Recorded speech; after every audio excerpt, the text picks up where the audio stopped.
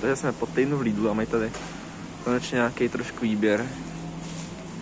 I když stále jeden regál je úplně prázdný, takže takový no, ale golema, golema, golema.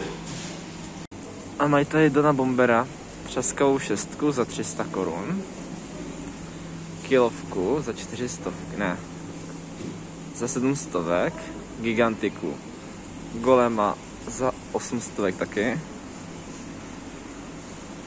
gigantiku za 9, Pyromix, Brakadabra, Mambu klasicky za 80 korun, to to zlevný.